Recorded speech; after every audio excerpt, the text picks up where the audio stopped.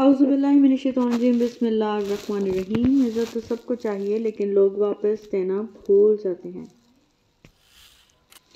किसी को दुख मत पहुंचाओ, क्योंकि हर अमल पलट कर आता है। अपने आप को समझदार ज़रूर समझें, मगर दूसरे को बेवकूफ़ समझने की समझदारी से परहेज़ करें। इंसानियत सजदा छूट जाए तो मुआफ़ी मुमकिन है। इंसानियत दम तोड़ गई तो खुदा भी नहीं मिलेगा। रंगीन ख्वाब देखने से कहीं बेहतर है कि इंसान ज़िंदगी की ब्लैक एंड वाइट हकीकतों का सामना करे। अगर आराम और सुकून से रहना चाहते हो तो हर चीज़ में मुख्तर रहना सीखो गुफ्तु एहसास और कभी कभी लोगों के चुनाव में।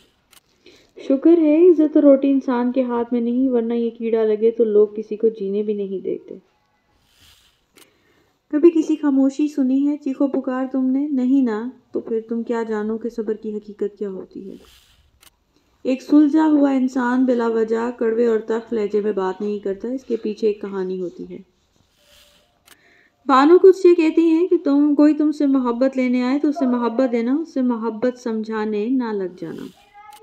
तुर्की की एक कहावत है कि इतना कह देना काफ़ी नहीं होता कि मैं तुम्हारा भाई हूँ, ये भी बताया करो कि हाबील हो या कबील।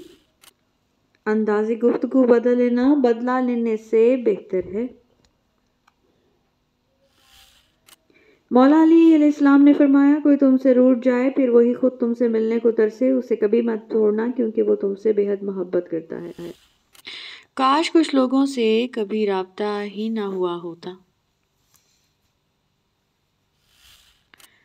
होने वाले खुद ही अपने हो जाते हैं, किसी को कहकर अपना नहीं बनाया जाता। इंसान को इंसान का आदि होना सबसे बड़ा नशा होता है। बहुत खामियाँ हैं मेरे अंदर, ख्याल कीजिए और किनारा कीजिए। इंसान उम्र से नहीं, फ़िक्र से बूढ़ा होता है। हज़रत अली अलैहिस्सलाम ने फरमाया, इंसान अपनी ज़बान के नीचे छुपा है।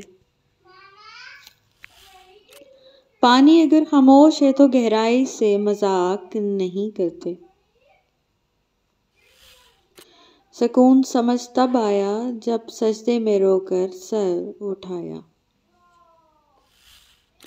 हर चीज़ नसीब से मिलती है, नसीब से नहीं मिलती, कुछ चीज़ें दुआओं से भी मिलती हैं। अल्लाह ताला के फ़ैसलों पर यकीन रखो, ज़िंदगी बहुत आसान हो जाएगी। इंसान जब अच्छा सोचता है, तब अल्लाह खुद ब खुद उसके रास्ते आसान कर देता है। परेशानी, बस ये सोचकर बर्दाश्त कर लिया करो कि कौन सा इसी दुनिया में रहना है, जन्नत में ऐश करेंगे किसी पर ज़्यादा नाराज़ होने से बेहतर है कि अपनी ज़िंदगी में इसकी अहमियत को कम कर दें। वफा का सबक इस फूल से सीखो जो मिसलने वाले के हाथ में भी खुशबू बसा देता है। एक नफ़रत ही है जिसे दुनिया में चंद लम्हों में जान लेती है, वरना चाहत का यकीन दिलाने में तो ज़िंदगी बीत जाती है। मैंने पूछा, गरूर क्या है? इसने कहा कि खाक से बने हुए इंसान का अपनी ही औकात को भूल जाना। दुनिया में बेहतरीन इंसान वो है जिसके लिए कोई रोए और बदतरीन इंसान वो है जिसकी वजह से कोई रोए।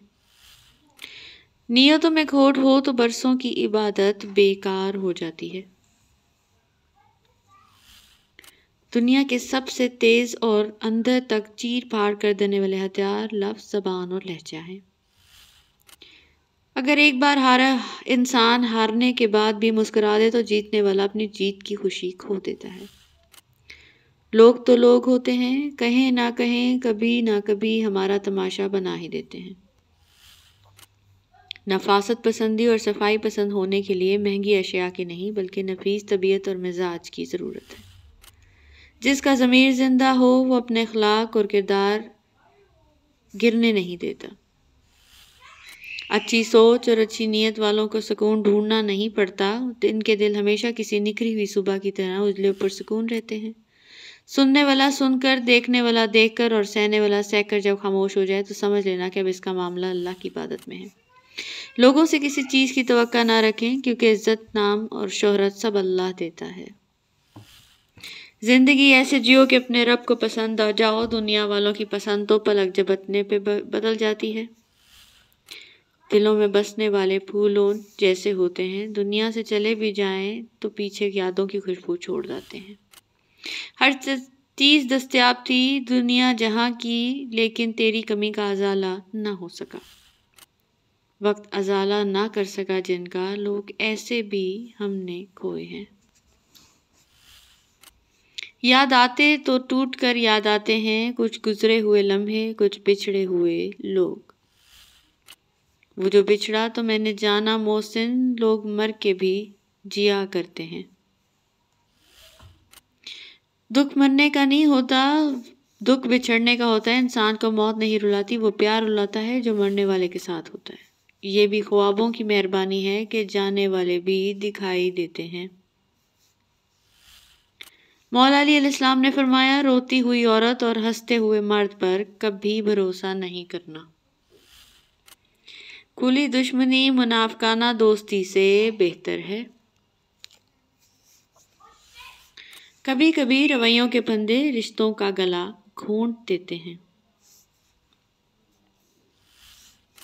दुआएँ नसीब से नहीं, बल्कि नसीब दुआओं से मिलता है और कायनात के सारे मोजे दुआओं से ही होते हैं। Thank you so much for watching